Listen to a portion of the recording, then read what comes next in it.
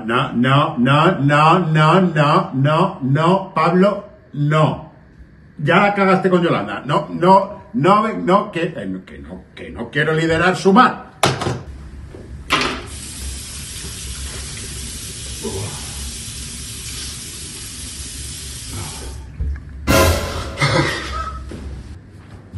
Chiquete, estoy sometido a una presión brutal, pero sé que tú nunca me fallarás. ¡Sumar!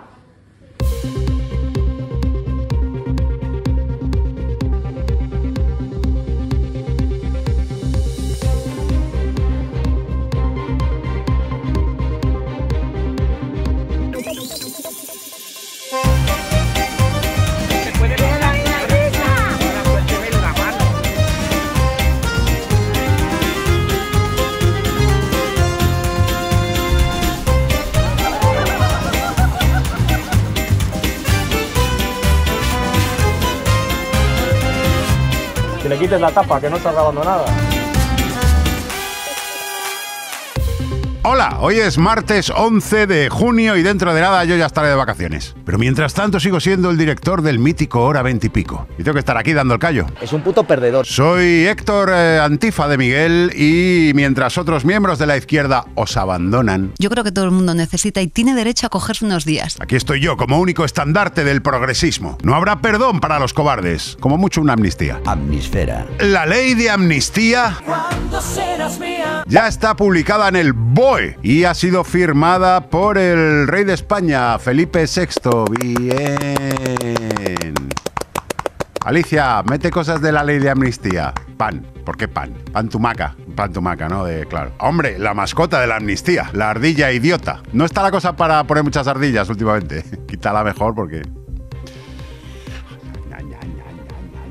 Pues eso, que la ha firmado el rey Felipe VI y es la segunda amnistía que firma Felipe después de la de su padre. Bueno, y lo más parecido a un delito de sedición de Juan Car fue el intento fallido de divorciarse de Sofía, su 1 de octubre. Yo dimito. Así que a partir de ahora no nos dirigiremos a Felipe VI como Su Majestad, o Alteza, o Rey, o Señor, o Feli. Le llamaremos por otro de sus cargos que le viene al pelo, Príncipe de Girona. Buah, los indepes no se esperaban a este aliade, ¿eh? Aliade para la República Catalana. Felipe aún no tiene estatua ecuestre, pero nada tendrá un muñeco en Ferraz, que usarán como piñata los que rezan allí el rosario. ¡O un felpudo! Madre mía, Felipe, la que le ha liado al facherío. Porque claro, ellos esperaban que no firmase. Claro, porque en su cabeza funciona así. ¡Ay, Sosaina, la que has liado! Al final, los que vais de modosito sois los peores. Eres una máquina de hacer carlistas. Esto fijo que ha sido la otra, la nieta del taxista, la divorciada que le ha comido la cabeza. Algo le sentó mal, no sé. Ahora ha llegado el momento de cerrar heridas y de que cada vez que veamos a un catalán seamos condescendientes y le demos una segunda oportunidad. Guillem, te perdono, venga. No pasa res, pedillos a la mar, ¿eh? Sí, ànims. M'he fotut la cartera. Collons, veig pollastre. ¿Y Pucci qué será de Pucci? Pues Pucci estará ya, yo qué sé, comprando el billete de Wigo. Bueno, a lo mejor va en el hueco de las maletas, para darle épica. Porque los dirigentes indepes son muy indepes y mucho indepes y muy republicanos y muchos republicanos. Pero nadie le hace ascos a un poquito de inmunidad política. Y hasta aquí la turra de la amnistía, que ya está por escrito en el BOE, así que con eso ya constatamos que no ha sido un sueño. Ahora solo nos da sueño. Nacional. Y de unos que ya están haciendo cola para que se les aplique la amnistía, vamos con otros que ya veremos. El PNV y el Partido Socialista de Euskadi alcanzan un preacuerdo para investirle en Dakari a Imanol Pradales, del PNV. ¿Y la casualidad? El PNV, ¿eh? No pierde una puta negociación, el PNV. Madre mía, yo de mayor quiero ser del PNV. ¿Hay algo más fácil que ser del PNV? Si todos los acuerdos llegasen con esta facilidad, no tendríamos programa. Ellos sostienen que van a lo programático, pero en realidad van a lo pragmático. ¿Con quién puedo yo juntar más billetes? Con este, con este me voy a entender. Porque yo no soy tonto. El PNV, que apoyaba a Rajoy tres días antes de la moción de censura. El PNV, que le preguntó a Pedro, ¿me respeta lo que firmó con Rajoy? Sí. Adelante. El PNV. El preacuerdo para constituir un gobierno vasco de coalición se titula, ojo, Bases para el acuerdo para avanzar en bienestar, progreso, autogobierno y la transformación de una Euskadi global, cuyas siglas son BAFPATEG, que en euskera significa la bolsa o la legislatura. Y ojo que ya hablan de una Euskadi global. ¿Por qué ahora los nacionalistas son ciudadanos de un lugar llamado mundo. Vete a la mierda, hombre. Ya no les oprime España solo, les oprime el sistema solar. Lo de ponerle un nombre tan largo al acuerdo todos sabemos que es el viejo truco para colar más cosas. Que también dices, a ver, sois Euskadi. ¿Qué más queréis? Yo qué sé, ¿qué, qué os queda por pedir? Subvencionar los pinchos. Que en Donosti te meten buena hostia, ¿eh? Unas Olimpiadas en San Mamés. ¿Qué queréis? Que haga buen tiempo por decreto ley. Que se os llena eso de madrileño. ¿Qué queréis? Que la pelota vasca se juegue con trufa. ¿Qué coño queréis? ¿Serse de fija de Eurovisión? ¿Que Arguiñano sea ministro del Interior? ¿O mejor, de Exteriores? Cocina un poquito, Netanyahu, que te va a cambiar el carácter. ¿Que la próxima gabarra salga en un río lleno de chacolí? ¿Cómo? En fin, la amnistía en el BOE, el preacuerdo en Euskadi, la ONU y Estados Unidos pidiendo el alto el fuego en Gaza, como se nota que es mediados de junio ¿eh? y nos queremos ya ir todos de vacaciones. Ya solo nos quedaría derogar la ley Mordaza, una ley de vivienda de verdad y a descansar en julio y agosto. Bueno, o las vacaciones que tengáis los pobres. Bueno, los pobres, los que no vivís en Euskadi. Bien, aunque parezca que las cosas poco a poco se van poniendo en orden, nunca llueve a gusto de paje. ¿Qué hacía referencia a la paja? El presidente de Castilla-La Mancha se fue ayer a opinar sobre los resultados de las europeas a la cadena que más comulga con su línea editorial, 13TV. Se fue allí porque el programa de Tony Cantó ya no existe. Lo mató Tony Cantó. Y a la cadena también. ¿Y por qué ir a Ferraz a rezar? Pues le queda lejos. Y no hace falta ir hasta allí para meterse con Priti. Pero desde luego lo que es evidente es que no hay que tener voluntad de eternizar lo, que, lo inviable. Lo... Efectivamente, no hay que eternizar lo inviable. Así que, Paje, ¿qué haces todavía en el PSOE? Deja sitio, coño, que habrá gente que quiera entrar ahí. ¿Qué te digo yo? Yolanda, Íñigo. García Paje, el Carlos Bollero del PSOE. O a lo mejor te hacen hueco en Izquierda Española, que al final no han tenido suerte. Claro, se lo gastaron todo en el anuncio de Resines. ¿Qué pasa? ¿Que no se puede ser de izquierda y español o qué? En fin, ánimo, Paje, que estás a dos frases de que te inviten al cumpleaños de Felipe González y al hormiguero. O al cumpleaños de Felipe González en el hormiguero. A lo mejor salen Nuria Roca y Juan del Val de una tarta y te invitan a un trío. Tú y yo somos más de cita doble. Nacional con Z. Y hablando de gente a la que sacar a la fuerza, la policía desaloja a golpes a unos estudiantes del rectorado de la Universidad de Sevilla encerrados en protesta por la matanza en Gaza. Aquí vemos cómo un policía se ve forzado a inmovilizar y hacerle un corte en el brazo a uno de los peligrosos estudiantes antes de que éste pudiese agredir a los agentes con su saco de dormir o con los apuntes de historia del arte. Pero tampoco pensemos mal del policía, así de primeras. A lo mejor esos tubos negros que llevan no son porras, sino diplomas de caucho. Y quizá él no quería agredir a un estudiante indefenso. A lo mejor solo le confundió con un mena. Pero conoce un poco a gente que no te está viendo Marlasca. Reflexiona sobre esta frase que acabas de decir. La universidad te abre la mente, pero no va así, señor policía. Este gobierno ya no sabe qué hacer ¿eh? para fomentar la FP. Héctor. Bueno, al final estos agentes lo que han hecho es perfeccionar lo que ya hacían cuando iban al colegio. Pegarle al que llevaba gafas y libros. Economía. El FMI admite que subir el salario mínimo ha sacado de la pobreza en España a un millón de trabajadores. Alicia, cosas tristes. No, alegres, alegres. Espero, ¿eh? Tengo todo el día. Bien, corazones rosas. Más cosas alegres. Y un perro. Bravo. El siguiente paso será no ser pobre y no trabajar tampoco. Seguidme, yo os enseñaré el camino.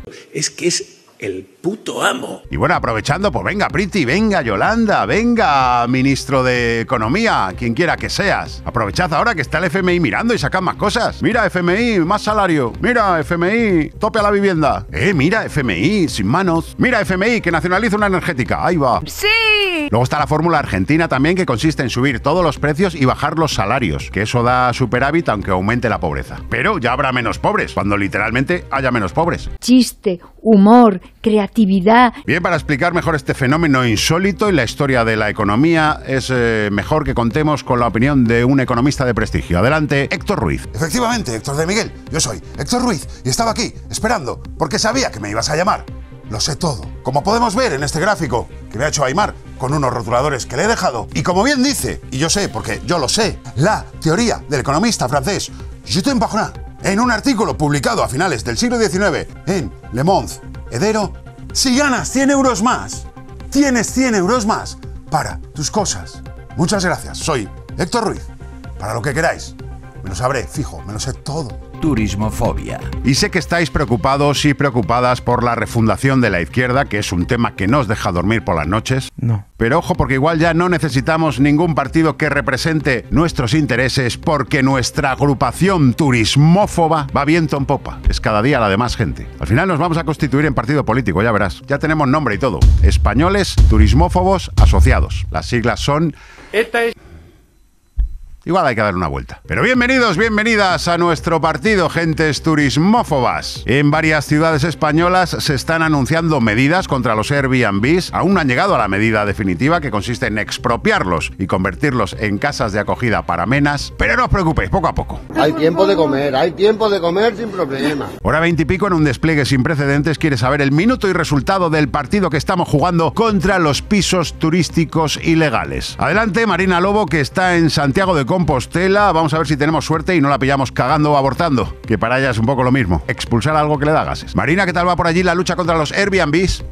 Buah, por aquí increíble, Héctor. De hecho, según nos cuenta ABC, cientos de familias, entre 600 y 800, se han visto afectadas por las nuevas ordenanzas que prohíben los pisos turísticos. He podido ver y todo a algún propietario llorando. Mira, ahí va uno. ¡Hijo de puta! ¡Tírate por un puente! Es que he visto el titular de ABC y se me ha metido algo en el ojo. Dice, cierre masivo de pisos turísticos en Santiago. Mis ahorros estaban ahí. La frase que emocionaría a Hugo Chávez. Pero no nos mudemos todavía a Santiago porque en Andalucía también hay novedades. José Cabrera, cuéntanos. Y yo. No, Héctor, Héctor, no hagas eso, tío, que da todo lache. Bueno, normal que luego nos integréis, joder, encima que hago un esfuerzo por hablar mal. Venga, dame una alegría, anda. Pues mira, Málaga va a poner freno a los nuevos pisos turísticos. Eso sí, solo a los nuevos. Claro, normal, es que ya no caben más. Estaban empezando a alquilar la arena de la Malagueta. ¿Y de baño? Pues lo de siempre de cuando va a la playa, el mar. De total, Mediterráneo ya da asco. Y Sevilla ha dicho que no va a dar más licencias turísticas en los 11 barrios que tiene ya saturados en el centro histórico.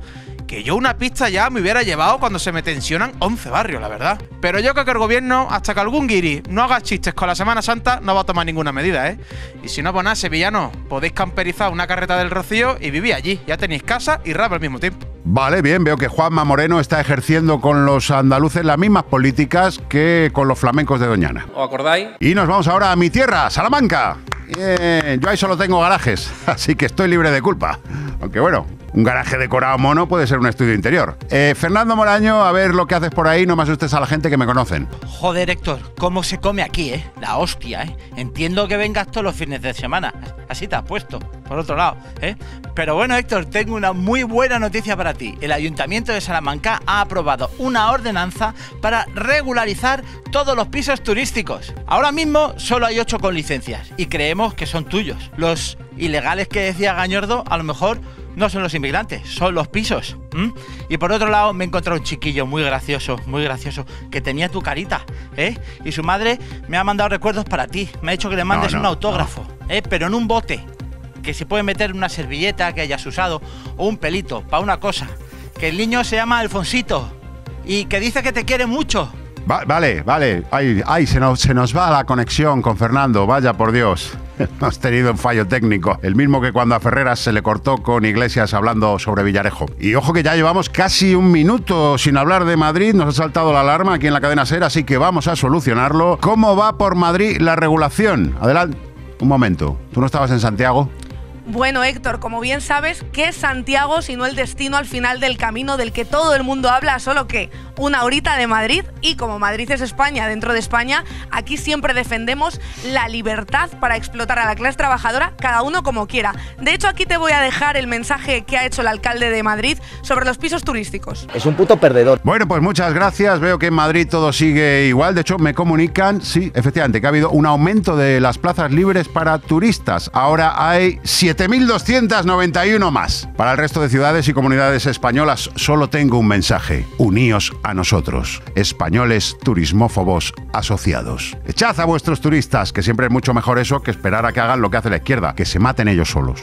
Deportes. Condenan a ocho meses de cárcel a los tres aficionados del Valencia que gritaron insultos racistas a Vinicius en Mestalla. Es la primera condena por este motivo en el fútbol español y no porque no haya habido oportunidades. Como se aplique con carácter retroactivo, van a tener menos asistencia de público que Malinche. Movistar ya ha lanzado el paquete módulo para que no te pierdas a tu equipo favorito desde la cárcel. Y los tres acusados han firmado además una carta en la que piden perdón al jugador, al Real Madrid y a los que se sientan ofendidos. ¿Qué quieres que te diga? Con la condena a unos ultras yo puedo estar de acuerdo, pero eso de obligarles a escribir me parece una crueldad innecesaria. Yo creo que ellos habrían preferido un gulag. ¡Ah! Y si os aburrís porque no podéis ser racistas, ni insultar, ni ir dando piquitos en los partidos de fútbol, pues yo qué sé, iros a la Kings League a desfogar, que lo mismo hay un comodín en el que que puedes agredir hasta al presidente. ¿A que no sabéis en qué estadio de fútbol no se aceptan este tipo de conductas? Efectivamente, en el de unionistas. Campo libre de insultos racistas, machistas y homófobos. Es un punto violeta prácticamente. A lo mejor le cambiamos el nombre de Reina Sofía a... Nah, está bien. Reina Sofía como punto violeta está bien. Que os pensabais que al terminar la temporada ya no iba a dar la turrita, ¿eh? Con el Unionistas. Anda. Fútbol popular, fútbol popular. Hay asamblea el sábado. Bueno, pues ser malos. Buenas noches, colegas. Como podemos ver en este gráfico que he hecho yo mismo con mi polla,